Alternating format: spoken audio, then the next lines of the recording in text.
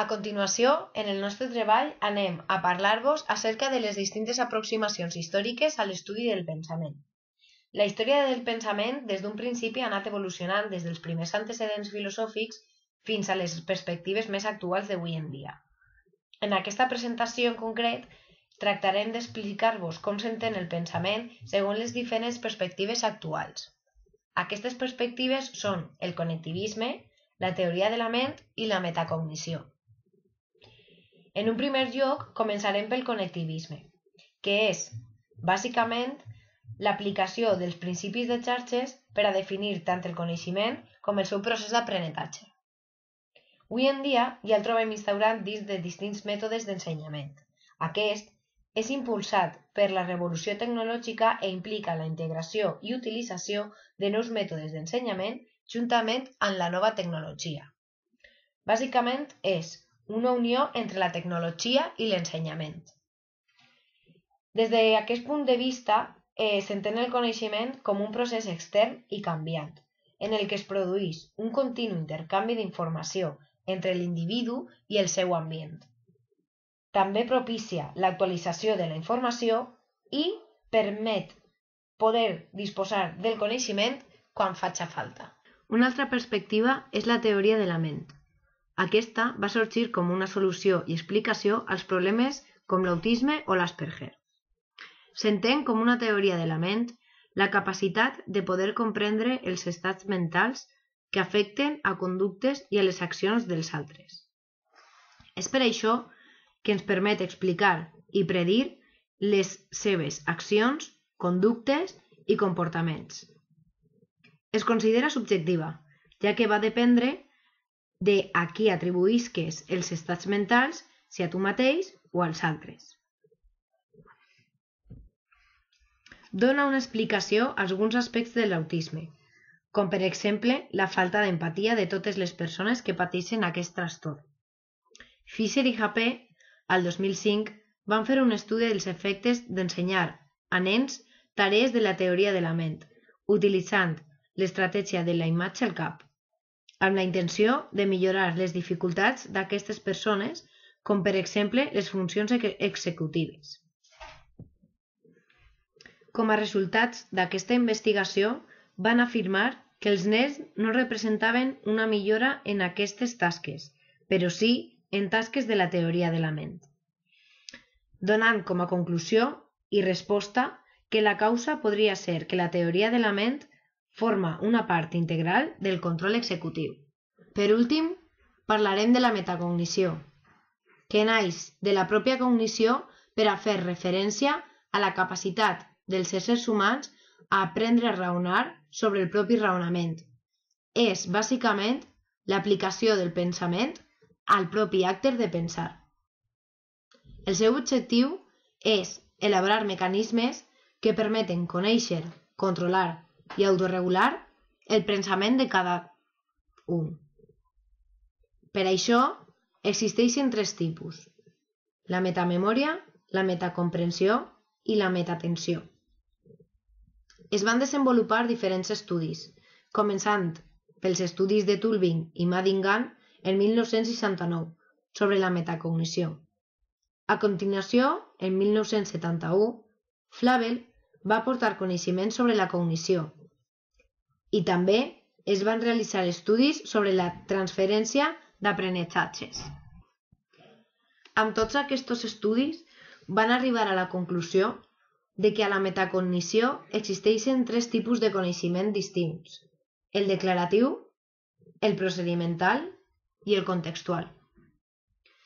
D'altra banda, amb el, de, amb el transcurs del temps, diferents autors, com Brown i Connell, van establir un concepte tridimensional,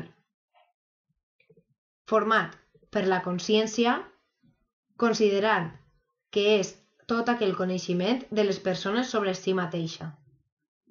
Un altre és l'autoregulació, que és com s'organitza el coneixement, i per últim encontrarem l'autoavaluació, que aquesta va ser el mecanisme que ens permet reflexionar sobre amb dues anteriors, consciència i autorregulació. L'estudi de les capacitats metacognoscitives és la realització de les activitats mentals que donen lloc a les següents aplicacions. Per una part, la resolució de problemes, per una altra, l'aprenentatge i, per últim, les diferències entre l'expert i el novel. Per a poder entendre tot el que acabem d'explicar, farà falta fer referència a totes les influències filosòfiques que han participat en formar aquests conceptes. Anem a fer referència a dues corrents. Per una part, en primer lloc, els racionalistes, amb Descartes com a màxim exponent, defenent la idea de que existissin alguns coneixements innats, és a dir, propis nostres, que ja tenim al nàixer.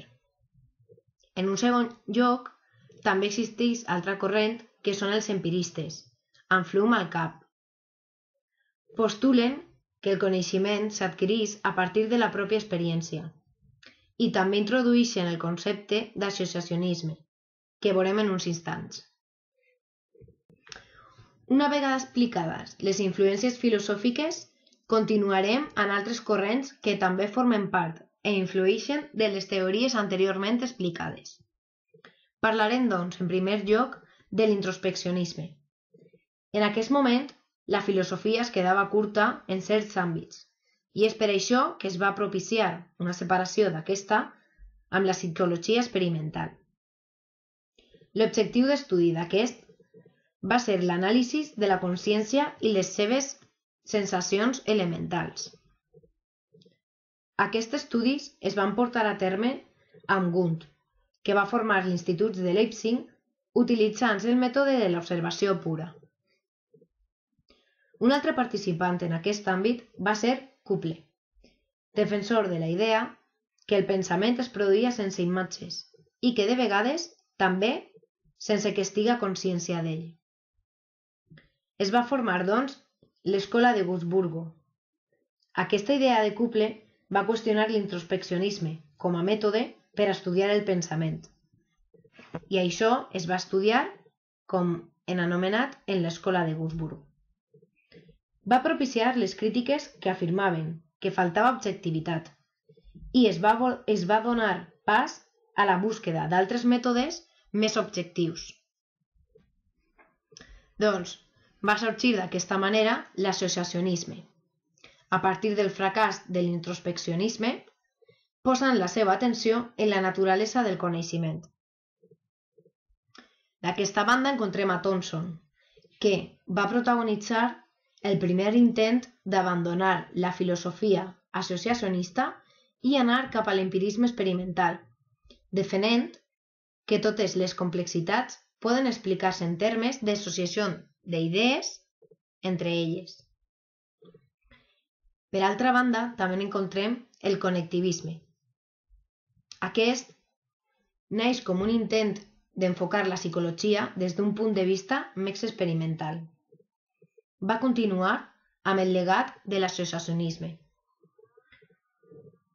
En aquest context encontrarem a Thorndike, a Pavlov i a Watson. Els tres van ser els protagonistes aportant les primeres explicacions mecanicistes. Parlarem així de l'esquema E-R, estímul-resposta. Pel seu costat, Thorndike va estipular la llei d'efecte i que l'aprenentatge es produís per assaig i error. D'una altra banda, Pavlov va, va protagonitzar el famós concepte del condicionament clàssic, amb els seus experiments amb gossos. I per últim, Watson va rebutjar els conceptes mentalistes i va observar el comportament. El neoconductisme és un moviment que va sorgir de forma reaccionària a causa de l'eliminació de les variables cognitives en els moviments explicats anteriorment. Hull i Tolman van ser els dos principals protagonistes d'aquest moviment. Els dos van realitzar canvis en l'esquema instaurat fins ara. Van afegir una nova variant que va ser l'organisme, per explicar d'aquesta forma els processos que existeixen entre la resposta i l'estímul. L'esquema a partir d'ara formarà tres variants: estímul, organisme i resposta. A pesar d'aquests canvis, autors com Fodor i Filising van fer una valoració a 1998 i van rebutjar tots els canvis fet fins ara. Van fer una crítica sobre els processos mentals superiors i també van afegir a la crítica que tant el conductivisme com el neoconductivisme tenien les mateixes limitacions, fet que va fer que rebutjaren els dos. L'escola de la Gestalt. Aquesta va sorgir en Europa central a partir de 1910. El seu plantejament bàsic va ser que el tot és més que la suma de les parts. Va enfocar el seu interès en les investigacions sobre la percepció i el pensament i es van formular una sèrie de lleis, anomenades lleis de la bona forma, com són, per exemple, el tancament o l'agrupació. Una de les majors aportacions d'aquesta escola, com ja hem dit abans, van ser les lleis de la Gestalt, però van ser rebutjades i criticades a causa de la seva vaguetat. Contràriament a això, la Gestalt ha tingut també importacions encara vigents, que tenen certa rellevància en la resolució de problemes.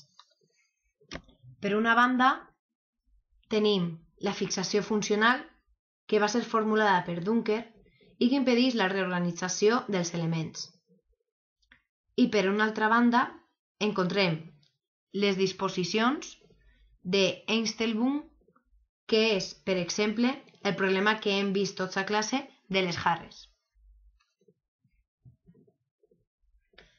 Altres conceptes que encara s'utilitzen i que són de la Gestalt fan referència al tipus de pensament, com són el pensament productiu i el pensament reproductiu. A continuació, la psicometria sorgeix com un intent de mesurar les capacitats mentals i de predeir la conducta. Però aquest es va topar amb un inconvenient a l'hora de validar els tests d'intel·ligència. En aquest camp sorgeix un enfrontament entre dos teories que definien l'existència dels factors, cada una per un costat. Per un joc encontrem a Spearman. Aquest definia l'existència d'un factor general anomenat factor Che, que predominava per damunt dels altres.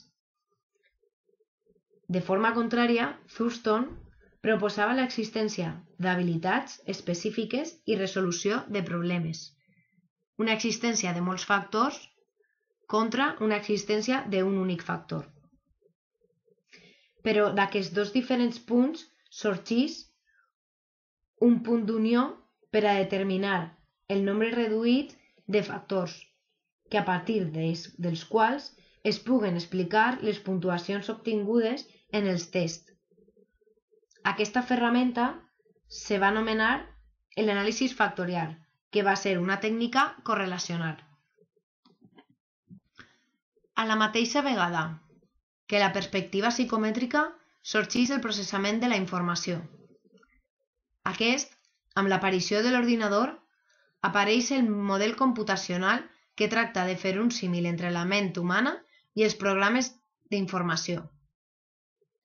Ràpidament van sorgir les primeres crítiques, a l'intentar generalitzar la lògica que té l'ordinador a la de les persones, ja que, degut a un component pròpiament humà, no són capaços de resoldre els problemes a simple vista. A més, de que el pensament depèn de mètodes heurístics de solució de problemes.